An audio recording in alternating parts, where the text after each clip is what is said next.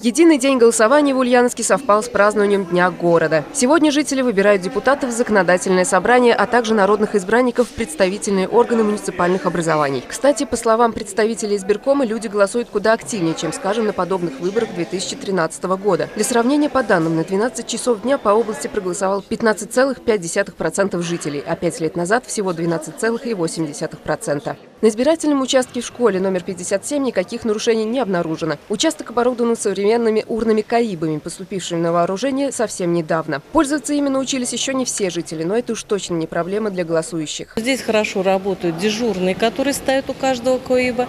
И буквально, если вдруг идет какое-то нарушение, идет сигнал о том, что надо выполнить правильно, очень корректно, тактично информируют, и все получается замечательно. Жительница Засвиярского района Клара Мухтаровна пришла на участок в 12-ю школу с любимой внучкой. Вместе они и проголосовали. Оценили и хорошую организацию, и отсутствие суеты. А пятилетняя Самира уже мечтает о том, чтобы поскорее вырасти и самой выбирать партию, депутата и даже президента.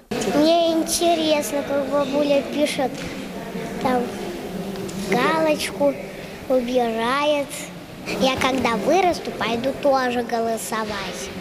Мне всегда нравится, да. Мы всегда сюда ходим в 12 школу, мне всегда здесь нравится. Всегда тишина, порядок. Среди ульяновцев нашлись и те, которые тщательно подготовились к выборам. Разумеется, речь не о кандидатах, а о гражданах, не безразличных политической обстановке региона. Один из них – Светлана Ермолаева, председатель экологической палаты. Чтобы напомнить своим коллегам про исполнение гражданского долга, она даже записала аудиопослание и отправила его всем сослуживцам. Я отправила свое аудиосообщение в Министерство природы цикличной экономики с призывом прийти на выборы и проголосовать, потому что нельзя оставаться равнодушным к таким серьезным моментам, которые связаны непосредственно с нашей нашей жизни. На участке Ульяновского государственного университета нарушений также не обнаружено. Тихо, спокойно и, конечно же, конфиденциально проходит голосование в третьем корпусе на набережной Свияги. Людей приходит достаточно, на участке оживленно. Напомним, избирательные участки работают до 8 вечера. Виктория Черкова, Руслан Баталов. Новости Ульяновской правды.